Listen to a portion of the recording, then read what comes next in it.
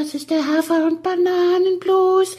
Das ist das, was jedes Pferd haben muss. Hallo, hier ist der Pferdepodcast, unterstützt von Jutta, der kostenlosen App für Reiter und Ställe. Jenny, wir nehmen jetzt zuerst den Teaser auf, okay? Gehört es schon zur Aufnahme?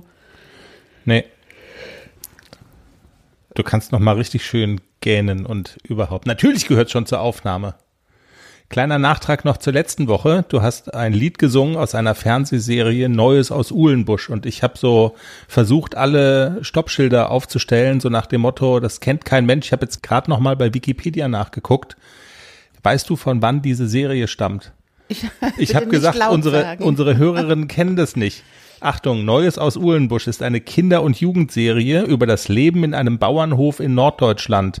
Die 40 Episoden der Serie wurden von 1977 bis 1982 vom ZDF produziert.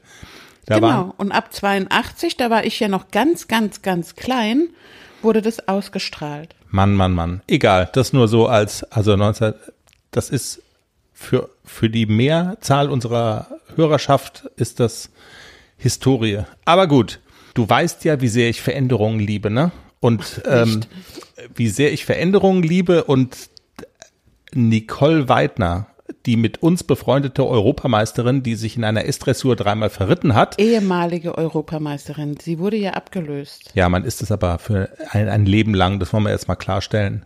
Okay, Entschuldigung, Nicole. weiß ja gar nicht, was für eine Gefahrensucherin sie ist, wenn sie uns redaktionelle Vorschläge macht. Aber gut. Weil, ja, ja, ja, genau. Also Nicole Weidner hat uns was vorgeschlagen. Ihr könntet doch in der Sendung mal dieses und jenes machen. Und ich bin ja so ein Mensch, ich will ja, dass immer alles gleich ist. Also gestern, ich muss noch mal mit so einer Spülmaschinengeschichte um die Ecke kommen. Gestern hast du, was selten vorkommt, die Spülmaschine ausgeräumt. Ich habe es bestimmt irgendwie falsch Ich habe gemacht. eine Monster, also die Mutter aller Krawatten schon wieder gehabt und wollte dir eigentlich ein, Fo ein Handyfoto schicken und so nach dem Motto, weil du hast die Gläser ausgeräumt, in den Schrank gestellt und falsch rum in den Schrank gestellt. Also nicht so, wie man sie nimmt und was reinschütten kann, sondern mit dem, mit dem Kopf nach unten sozusagen und, Und du Boden nach oben. Tran das Wasser auf das umgedrehte Glas geschüttet und nicht rein. Nee, ich habe Hass gehabt, weil es nicht war wie immer. Es war nicht wie immer. Du hast so eine Meise. Und ich dachte, okay, wenn ich dir jetzt das Foto schicke und sag Hass, dann kommst dann, dann sagst du, ach, ich gehe nicht nach Hause zu dem Vollidioten, ich trinke noch ein Säckchen am Stall, so wäre es gekommen. Ja. so ist es gekommen, so oder so, auch ohne Foto. Jedenfalls hat Nicole vorgeschlagen ähm, Folgendes: Ich höre gerade eure letzte Podcast-Folge aufäutern. Den Begriff, der der der Begriff spielte da eine Rolle. Ich glaube, es war sogar die vorletzte Folge. Könnt ihr nicht die Rubrik Chris meets Pferdesport mit einbauen? Die Hörer nennen einen Begriff aus dem Pferdesport, den Chris dann interpretiert, ohne googeln. Zum Beispiel, die Hosen sind deutlich sichtbar.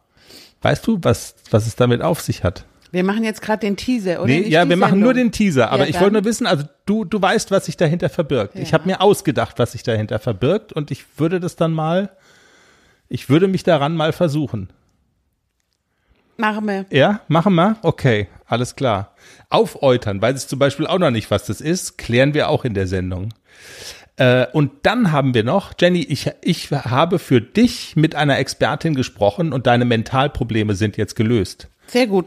Wir sprechen mit Antje Heimsöth. Der- Rechtzeitig vor meiner ersten Springprüfung. so, Und? Alles bereit für den Einzug des neuen Kätzchens? Ja, steht alles. Ich habe mich extra informiert, was ich für den Start brauche. Ein gemütlicher Schlafplatz, hochwertige Katzennahrung, viel Spielzeug, ist alles bestellt. Aha.